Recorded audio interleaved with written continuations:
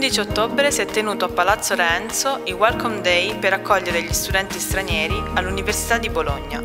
Abbiamo intervistato alcuni dei ragazzi presenti all'evento.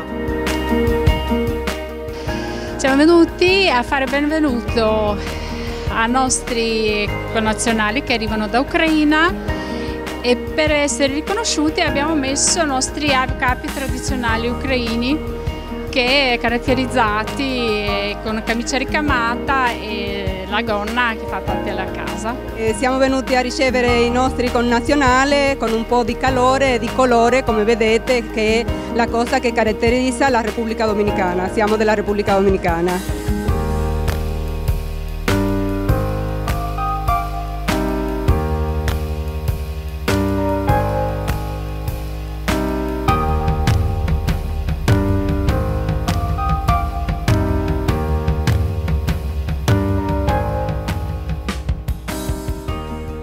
Girls, where are you from?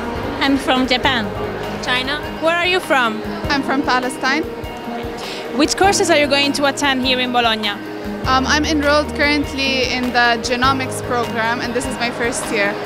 I'm from Peru. So, uh, why did you choose to study in Bologna? Uh, I'm going to study progettazione e gestione dell'intervento educativo nel disagio sociale.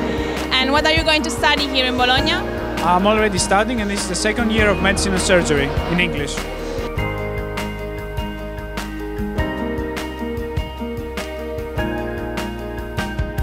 What did you choose to study in Bologna? Uh, uh, oldest university in the world, great reputation, in a beautiful city, so I thought that would be a great opportunity as well. To me, I was so amazed about all the architecture and the history of the Bologna and also I love food so food is really good in here and so that's why I chose Bologna. I, it's not only about studying, also lifestyle. So I like the lifestyle here, so that's why. Oh, because it's a world famous university and very old university. That's why.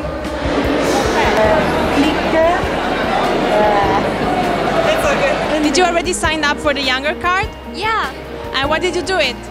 Uh, I like to like see museum and um, so on.